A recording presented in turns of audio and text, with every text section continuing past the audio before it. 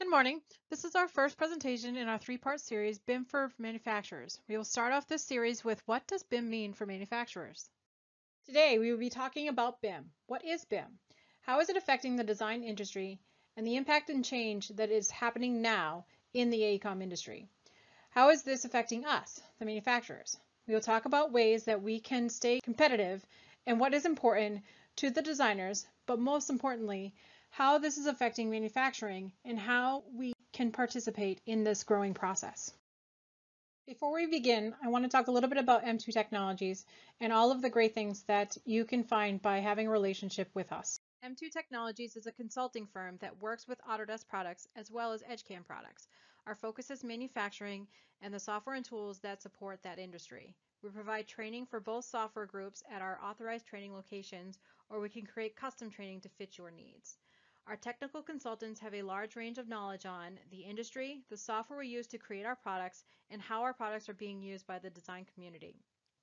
We also have software developers and account executives as we are also a reseller for both Autodesk and Edgecam softwares. Our office locations listed here on the right indicate our main offices and training centers, but we can help you wherever you are, even if you're not near one of these listed locations. My name is Louise Buchanan and I will be your presenter today. Just to give you a little information on my background, I am a business development manager here at M2 Technologies and I have extensive knowledge on the BIM process. I am an expert in Revit, Navisworks, SketchUp, AutoCAD, and a few of the AutoCAD verticals. I have over 15 years experience working within the AECO industry, and currently my main focus is working with manufacturers and building content that is BIM ready, but not only that, to make sure that it meets both the needs of the manufacturer and the designer so that it includes both the data and the options and functions of the manufactured product. So now let's talk about what does BIM mean for manufacturers. I wanted to start off with a definition of BIM. BIM stands for Building Information Modeling. This is a process, not a holistic link to one software, but the start of this process is with a 3D model. The model includes intelligence and data for all the parts of the building and allows AEC professionals the tools they need to work together better and design more efficient buildings, where they can manage buildings and their infrastructure. Why use BIM? Well, let's take a look at where design was before BIM. In the 2D CAD world, you are basically in a sea of paper. At the end of a project, those drawing packages would end up on a shelf somewhere and forgotten and may be pulled out of storage to do a remodel or an addition, but the digital copy would either not be available or updated with the latest changes. So you are looking at outdated paper plans and multiple copies that have been stored, like in this storage room, all of the changes that have happened through the project, the archive files for a certain point in the project timeline, and any of the change orders may be in this room. For the digital file, the master file has layers for everything, and it is an overlapping sea of rainbow that can confuse the point. With a BIM file, you will be able to drive three-dimensional plans. You will see where problems will arise during the design phase rather than on the construction site where you need a change order in order to do a redesign. That costs additional money and slows down the delivery schedule. Being able to articulate your design to an owner in a 3D environment is a powerful tool. 2D lines do not always show the true design or what systems are intersecting and could be a problem, like a 3D design would. Now with the use of BIM brings in new opportunities. New technology and the ever-growing level of quality and detail have smashed the doors wide open for new and better opportunities. AR and VR are broadening the understanding of how the building will feel, as well as the capability of live on-the-go changes that can be uploaded to your master file. This gives us better ways to communicate to our team members and facilitate the building's purpose. BIM isn't just some fad that has come and gone and replaced by the next fad. It is a requirement by many countries, regions, and even down to the project. The owner will determine or demand a BIM deliverable at times. Owners are now more vested in their projects than we have seen historically. The final deliverable is able to be accessed as a digital file that can be stored for future use as the building changes through its life cycle, versus paper plans sitting on a shelf for years and never updated. Through asset management tools, owners are able to drill down to the unit they need information on and run some analysis on how a needed change will impact the entire building. They can search a light fixture that has a five-year warranty on, a, on the ballast and be able to find out how many they have in their building and where they are located to create an action plan that they can include in their budget for that year or even five years down the road. Some of the trends that we are seeing with the continued growth of BIM are globalization, urbanization, and sustainability. Globalization is a huge action. We can no longer function in our small corner of the world. We are competing with everyone around the world to win these projects, even with other countries in our own backyard. Firms all around the world are competing for jobs outside their home country. So, in order to stay competitive, we need to broaden our focus on and technology. Urbanization.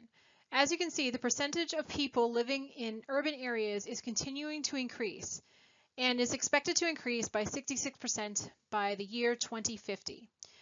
That is double the amount of people that were living in urban areas in 1950. So in order to sustain the number of people that we currently have and are projected to have by 2050, we need more buildings. So this brings us to sustainability.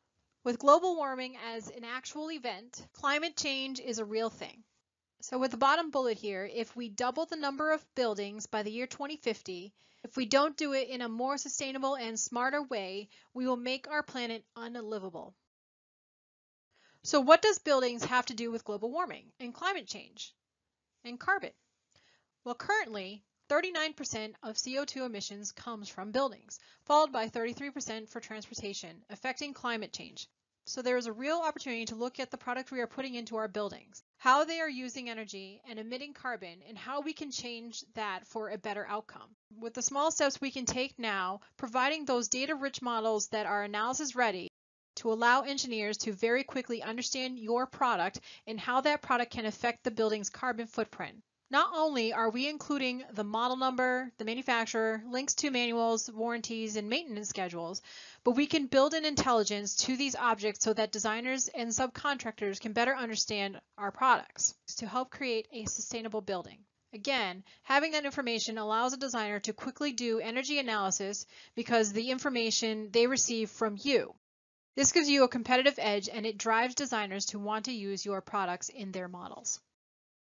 As a wrap up on BIM, the goals of it are to add efficiency in areas of design and drive sustainability.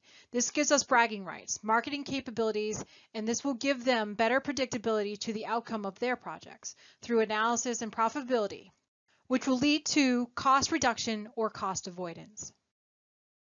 So why now? Why is this becoming a need now? Why was this not being discussed when we were required to provide CAD files to designers 10, 15 years ago? It has a lot to do with the turning point of where the industry is headed, or a paradigm shift. But a big reason is Wi-Fi. Accessibility to everything. We want access to it all. And we are information junkies. The more information there is, the more we want to know. This is an image of New York City where these towers are being installed all around the city to allow for free Wi-Fi access from anywhere in the city. So connecting to anyone and everyone is that much easier, and we will continue to see this ease of use condition increase as we continue to move forward. Also, we have the devices. These days, contractors have tablets as part of their work process. They can track changes from the job sites, and since children are getting devices at such a young age, Contractors have access to someone in their life that can always show them the new tool that's out there. I know it's scary. My daughter's seven and she's already asking for a smartphone. The cloud. The introduction of cloud technology has opened the doors to accessing this data from anywhere and providing feedback at an instance wherever you are. When you combine this with the devices we have, increased connection to Wi-Fi, it is a change we cannot ignore. Millennials. One of the largest generations we have ever had. They are now of age and are becoming part of our current workforce. They have a natural draw to technology as they grew up around it everywhere. They are drawn to using technology to do things faster and more efficiently. Millennials are changing the way we look at a project and pushing for new ways to understand and deliver the, that information. The goal of the BIM process is to have an organized and accurate model of real-world conditions that can be maintained through its life cycle. So why should we get involved? This should be a win-win for everyone. With this becoming a mandate in multiple countries, and that number will continue to grow year over year, the requirements on us will also continue to be pushed. Designers will want to spend their time designing and not creating products that are more intimately understood by us. It is our responsibility as manufacturers to allow this process to work and not be a hindrance to it. How is implementation of BIM taking off globally? There have been a number of countries which have mandated the use of BIM. Autodesk is among many other companies which are part of the UK's effort to define BIM specifications for public projects. There are many other infrastructure owners that are including or planning to mandate BIM deliverables. For example, several U.S. transportation departments are calling for building accordance to BIM specifications. In fact, the MAP 21 policy of the U.S. incentivizes states for using 3D models and visualizations and using BIM effectively. We recently gave a BIM tour to the government in Japan where the RMIT group is leveraging Autodesk technology. Countries like Brazil, Mexico, Japan, and Finland are also pursuing BIM standards, similar to that of the UK. And actually, Finland is two years ahead of the UK. By the end of this year, all its public projects will have a BIM mandate.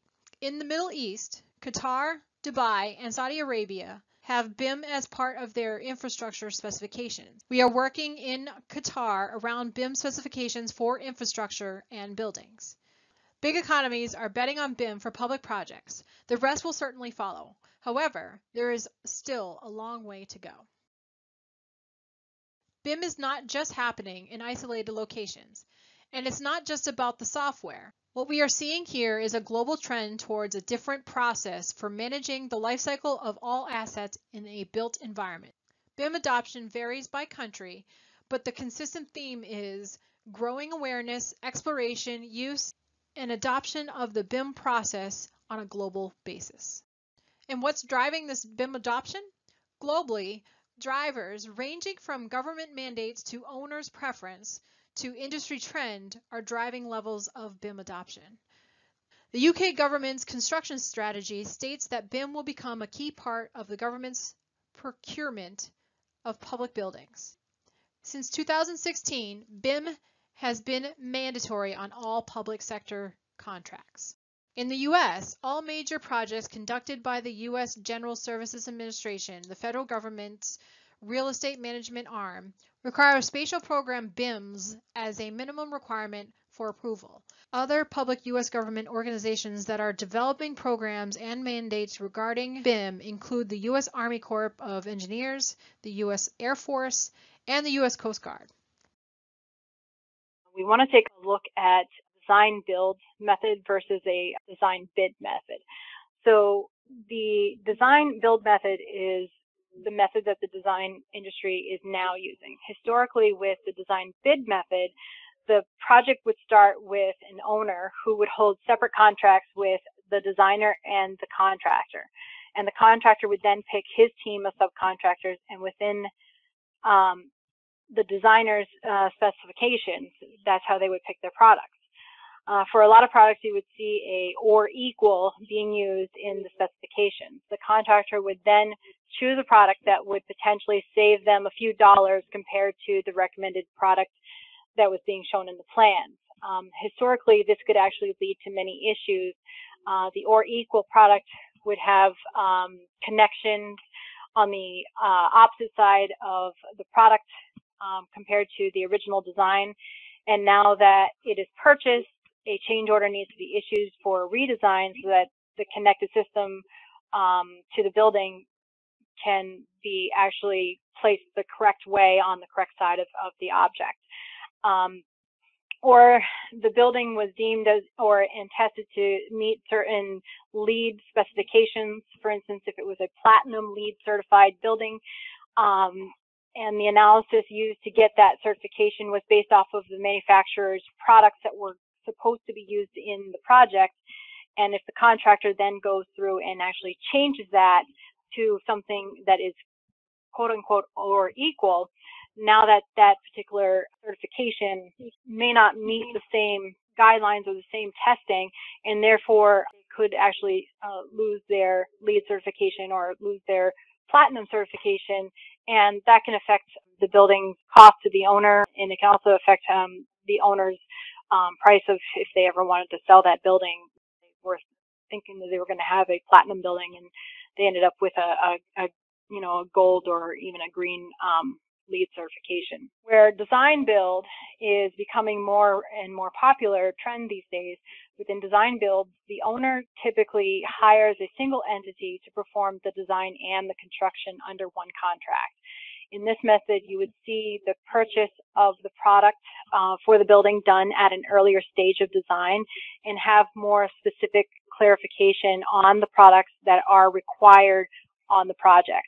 Uh, high-level collaboration is also performed at an earlier stage of design so that potentially the need for change orders can be drastically decreased.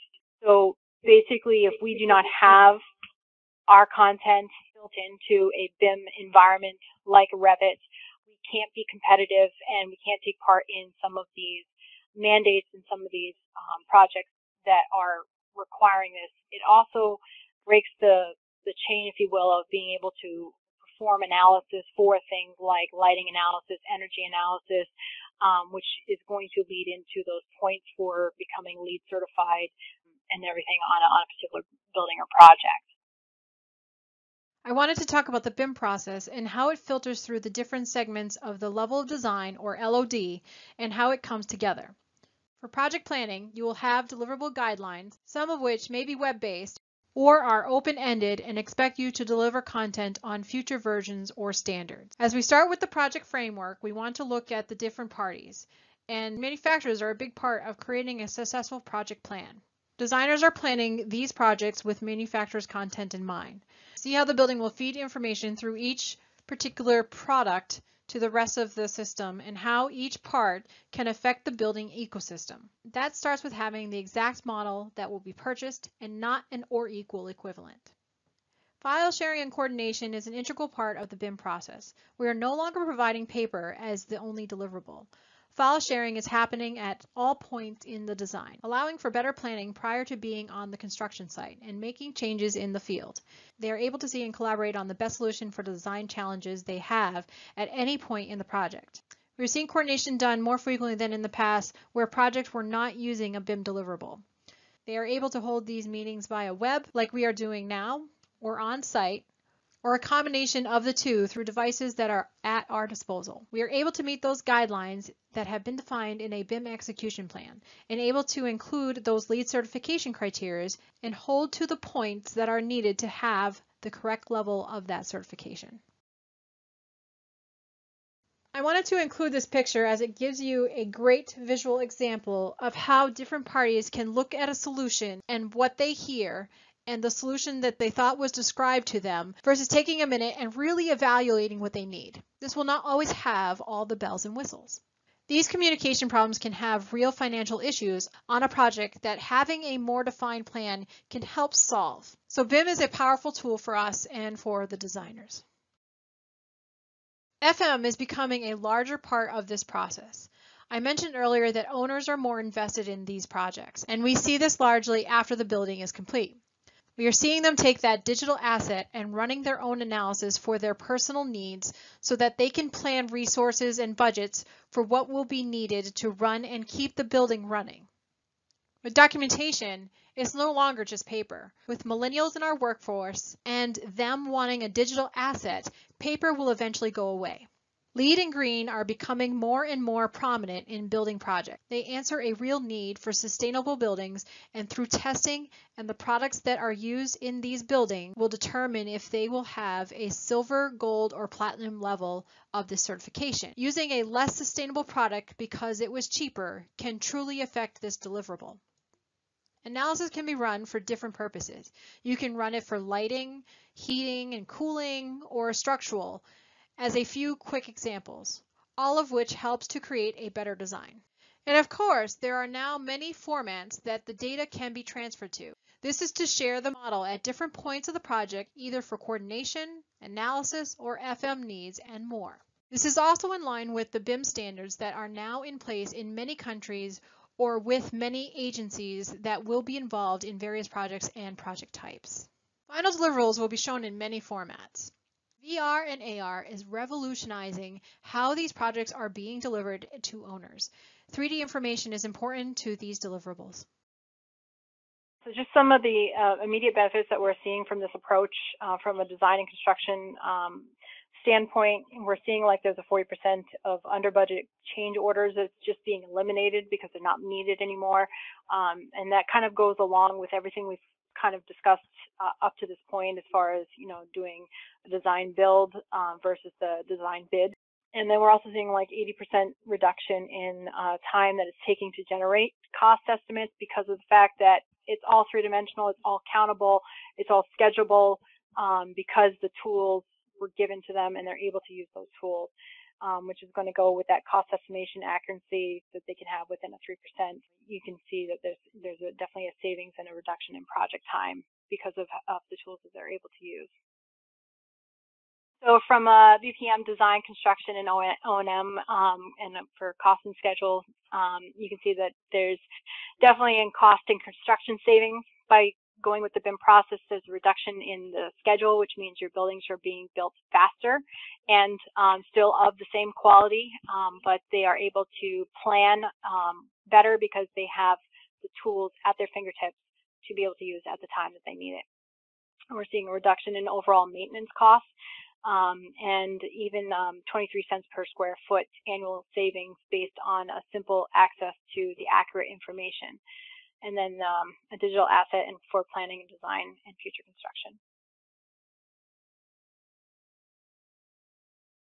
So how can the BPM uh, be a contributor? How can, how can we help?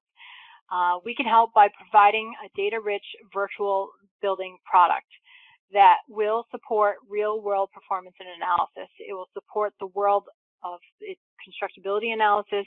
It will provide true cost controls. Will provide um, the data that we need to actually make these analysis and we can provide the size and uh, space that's needed within the product along with any of the requirements, electrical requirements, HVAC requirements, all within that one product that then can be connected to the building systems and then can be run downstream on uh, maintenance costs. We can put in links for um, warranties and manufacturer information, uh, whatever is needed for that particular product. And that can all be translated into that digital building that they can pick on that particular object and find the information that they need to know about that object. So why us? Um, well, it allows us to become designed in. I mentioned earlier that between like design build and design bid, that there's still uh, quite a shift on how the process is going. And what we're finding is that with manufactured content, the at or equal is just kind of going away a lot.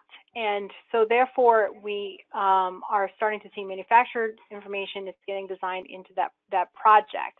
And if they're calling you out, um, even during the design stages, before you even get to construction documentation, that we're actually seeing just a paradigm shift in how that information is getting translated. And if we don't have the products, then we can't built into Revit and built um, BIM ready, if you will, then we cannot compete against um, those that, that do have that information ready to go. So the construction ability to perform real constructability analysis for estimating, clashing, and more is a powerful tool to them. They're really pushing, construction is really pushing um, this BIM process because it's it's saving them money, it's saving them time, it's saving them headaches of going out to the site and finding out that everything is wrong. That's not happening as much anymore as it used to because they're using the right tools and getting the right deliverable for their projects. It's because it's creating a smarter design um, that is just being helpful in all of the phases of operations and maintenance and, and everything. And we kind of talked about the why, the why now, just kind of like a little bit more of a, a wrap up. what we, uh, as uh, BPMs, as manufacturers, we want to get ahead of the national and global mandates.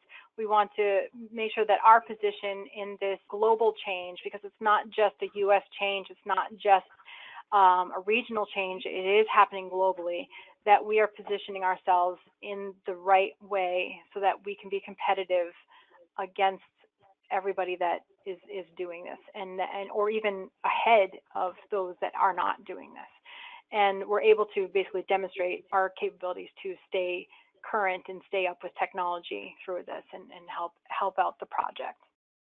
So this is just a, a, a, nice little example. It's a it's a smaller picture that we saw in an earlier slide where you can actually see how throughout an entire system from the smallest little unit up to the, the large rooftop unit, how that system needs to be connected together.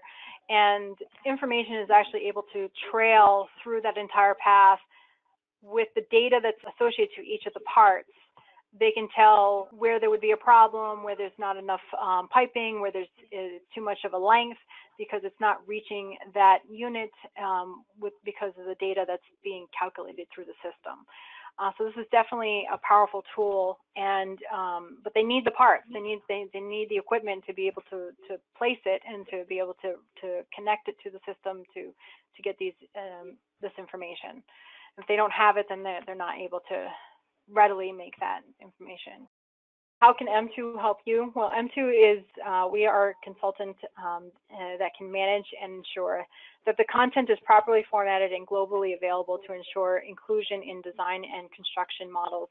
Um, practically um, creating a designed in deliverable where it's cheaper and from a sustainability standpoint more important um, to purchase the design equipment system uh, than it is to allow a subcontractor to buy out the equipment based on an antiquated uh, bid buy process that supposedly ensures the most value for the asset owner. M2 is the consultant that can provide the process uh, to ensure that as engineers uh, design a system, they are able to make informed decisions on the interworks of the building.